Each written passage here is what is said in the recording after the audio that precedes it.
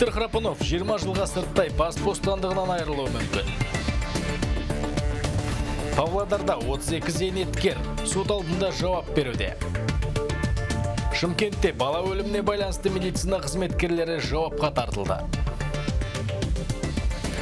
Армысыздар тікелей эфирде күнделік студияда Рустам Байдәулет.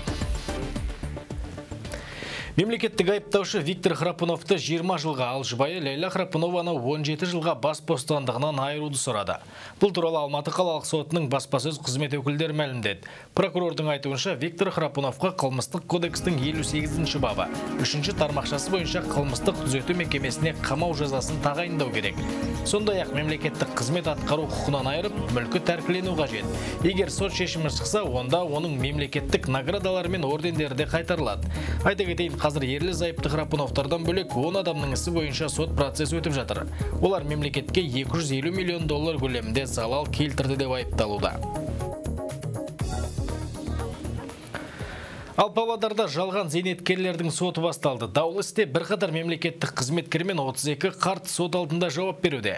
Мұндай жағдай елімізде бірінші рет болып отыр. Топтасқан алаяқтық қылмыс жайлы биылғы тамыз айында белгілі болған. Құрамында азаматтарға арналған үкімет корпорациясының басшысынан бастап еңбек департаменті, әлеуметтік қорғау және көші-қон мекемелерінің қызметкерлері бар. Олардың қатарында қарапайым азаматтар да болған. Алаяқтар зейнет жасына жақындаған қарттарды тауып, мерзімнен бұрын жеңілдікпен зейнетке шығуды ұсынған. Бұл схемамен олар 10 жылдан астам уақыт жұмыс істеген екен. Келтірілген шығын 117 миллион теңге. Тергеу барысында шенеуніктердің көбісі шығынды жапқандықтан сот орындығында тек қарттар ғана қалды. Қазір олардың жасы шынайы зейнеткерлікке жеткенімен ақшаларын ала алмайды. Өйткені олардың есеп шоттары бұғатталған. предложили мне пенсию как бы оформить вот это с полигонным вот. Маған полигон деген жеңілдікпен зейнетақы тағайындауды ұсынды. Қазір қолыңызға 250 мың теңге береміз. Бір жылдан соң 62-ні өзіңіз алып отырасыз деп айтты. Кабинеттеріне барғанда оларға сендім. Бәрі заңды сияқты көрінді. Маған ақша керек болған. Баламның жылын өткізіп, қарызға батып жүргенмін. Содан келістім. Я согласен.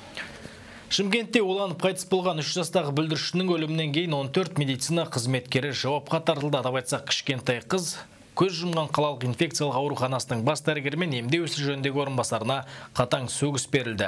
Ал 9 қызметкерге сөгіс жарияланды. Екі медбике және бір инфекционист дәрігер жұмыстан босатылған. Естеріңізге сала кетейін, ағымдағы айдың 9 жұлдызында 3 жастағы бүлдіршін іші ауырып, құса бергеннен кейін сағат 11-лер шамасында ауруханаға жеткізілген. Алайда әжесі ауруханаға жатқызудан бас тартқан. Дәл осындай жағдай бірнеше рет тіркеледі. Жағдай тіпті ушыққаннан кейін әжесі баланы инфекциялық ауруханаға өзі әкелген. Үш жастағы қызға тамақтан улану токсика инфекциясы деген диагноз қойылған. Ол реанимацияға жатқызылып, артынша онда көз жұмған. Анықталғандай олар бір күн бұрын анасымен дәмханадан пицца мен суши жеп, сүтті коктейль ішкен екен. Дәмхана аспаздарынан стафилококк таяқшасы, ал тапсырыспен суши дайындайтын асханадан бактериялар табылғанында мәлім болды. Ал солтүстік Қазақстан облысында менингиттен көз жұмған қызға қатысты жағдайды еліміздің бас санитар дәрігері Жандарбек Бекшин өз бақылауын алды. Ол өңірге арнайы сапарымен барып, қайғылы оқиғаның жай жапсарын анықтауда. Бұған дейін науқасқа менингит деген алдын ала диагноз қойылған болатын. Алайда оның нақты неден қайтыс болғаны сараптама нәтижесінде белгілі болмақ. Айта кетейін Алматы облысында үш оқушы дәл осындай диагнозбен ауруханаға түскен. Дәрігердің жіті бақылауында жатқан олардың денсаулығы қазір бір қалыпты. Жылдың басынан бастап 83 жағдай тіркелді. Сероздық менингокок менингокок инфекцияның түрлерінен алсақ ал ірінді менингиттің 128 жағдай тіркелді. Ал серозды менингиттің 466 жағдай тіркелді. Ең қауіпті бұл менингокок инфекция дейміз. Неге десеңіз оның өлім жітім жағдайлары көп.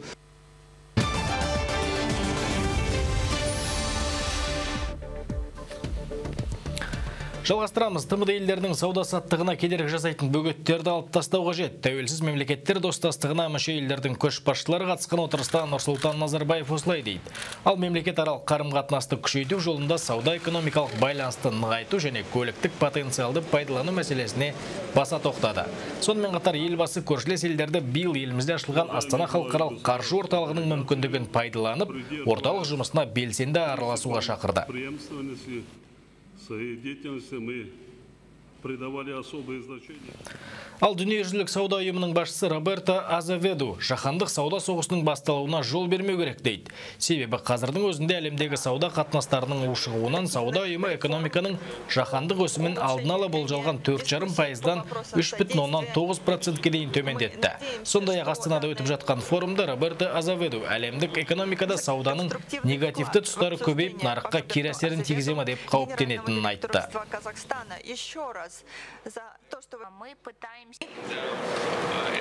Біз қазір әлемдік сауда үшін маңызды уақытта кездестік. Шиеленіс күшейіп жатыр. Жаңа тарифтер миллиардтаған долларды қамтиды. Сонымен қатар жаңа шаралар әзірленуде және шын мәнінде біз оның қашан аяқталатынын да білмейміз. Егер осындай үрдіс жалғаса берсе, онда әлемдегі тұрақтылыққа қауіп төніп, өсім азайып, жұмыс орындарының қысқару қаупі бар. Бұл әлемдегі барлық аймақтарға әсер етеді. Қазірдің өзінде біз кейбір кішігірім кері әсерлерді көріп отырмыз. Мысалы, экспорт азайып бара жатыр. Компаниялар жұмыс орындарын құру үшін инвестицияларды жеткілікті мөлшерде бөліп жатқан жоқ. Бұл алаңдайтын жағдай. Өзге де ақпараттар Ақтөбеде жергілікті монополистердің кесірден кәсіпкердің бизнесі құрдымға кетуге шақ қалды. Коммуналдық шаруашылық қызметінің әрекетіне наразы болған іскер әйел аймақтық кәсіпкерлер палатасына шағымданды. Бизнес буменнің айтуынша оның кондитерлік цехына келетін кәріз жүйесін коммуналдық қызмет улы иіс шығып жатыр деген желеумен жауып тастаған. Содан кәсіпорынның жұмысы тоқтап қалған. Кондитерлік цехтың директоры фирмасының жыл сайын санитарлық эпидемиологиялық станцияның тексеруінен өтетінін айтады. Ал былтырдан бастап мемлекеттік орган тарапынан дүркін-дүркін тексерулер түсіп, айыппұлдар салыныпты. Енді кәсіпорынға монополисттер шүйліккен. Олар кәсіпкер әйелге құны 1 миллион теңгеден асатын тазартқыш қондырғы орнатуды талап етуде. Закрыли полностью канализационную систему. Олар кәріз жүйесін толығымен жауып тастаған. Өндіріс тоқтап тұр. Кәсіпкер әйел даму қорынан 37 миллион теңгенің несиесін алған болатын. Ай сайынғы төлемі 750 мың теңге. Егер осы айда мәселе шешілмейтін болса, төлемдер бойынша кешігулер болады. Қазнетте шағын және орта бизнеске арналған тағы бір ашық платформа іске қосылды. Онда кәсіпкерге қажетті қызметтің барлық түрі жиналған.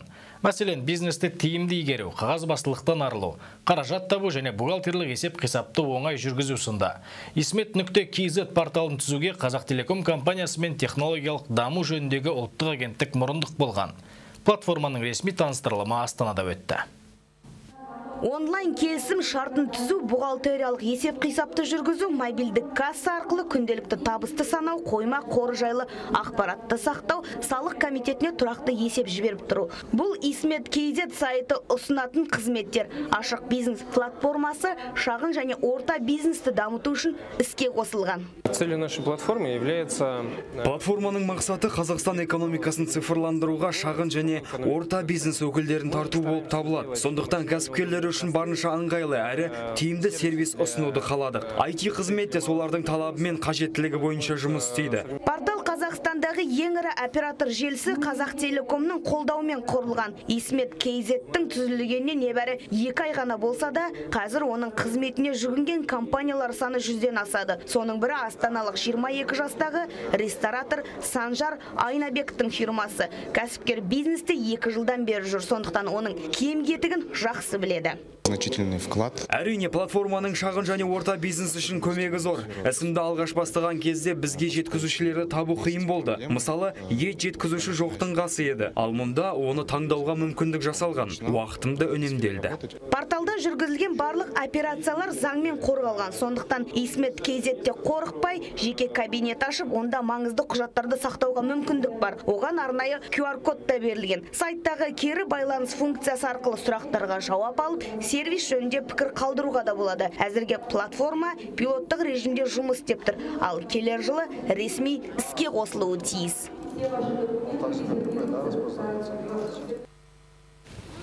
Бүгін елордада ең үздік әлеуметтік жобалар анықталды. Байқауға республиканың әр аймағынан 318 өтініш келіп түскен. Арнайы құрылған комиссия мүшелері жыл бойы сараптама жүргізіп, нәтижесінде 55 жобаны ақтық кезеңге өткізді. Бас жүлде зейнеткерлерді тегін түскі аспен қамту шарасына бұйырып, жеңімпаз 3 миллион теңгеге ие болды.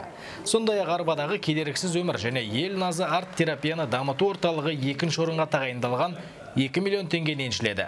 Түрлі байқау қиын жағдайға тап болған жандардың түрлі әлеуметтік мәселелерін шешуге бағытталған.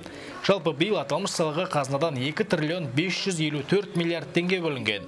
бұл өткен жылға қарағанда 25 процентке көп 2010 жылдан бастап конкурс аясында қатысқан 968 жоба кеңінен қолданыла бастады 400 мыңнан астам азаматқа қолдау көрсетіліп отыр бүгін 52 жобадан 318 жобаға дейін қатысушылардың саны өсті. Бұл рекордтық сан. Мысалы 180 адам жан жақты жағдай жасалды 150 адамға барлық деңгейдегі мына денсаулығын түзету мақсатында квоталар ұйымдастырдым.